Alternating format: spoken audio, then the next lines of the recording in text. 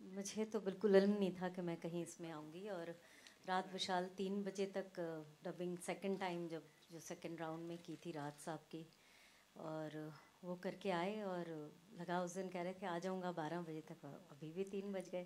पहले दिन भी इतनी देर हुई थी। एंड देन ही सेड अच्छा तुम सुबह कुछ ट्राई करोगी साढ़े दस बजे।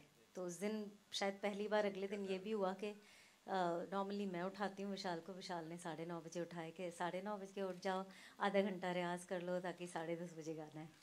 एंड देन एक्चुअली ग्यारह बजे डबिंग की एंड देन करते करते विशाल ने ये सब पार्ट्स उसी वक्त बनाए फिर। कुछ और कंपोज किया था बट देन ही चेंज और अच्छा लगने लगा और दोपहर तक आई थिंक गाना फिर मिक्सिंग के लिए भेजा गया। क्या बात है। बहुत खूब। अरिजन अंदारे साहब please come on the stage Kumar ji. Rajat ji Abhishek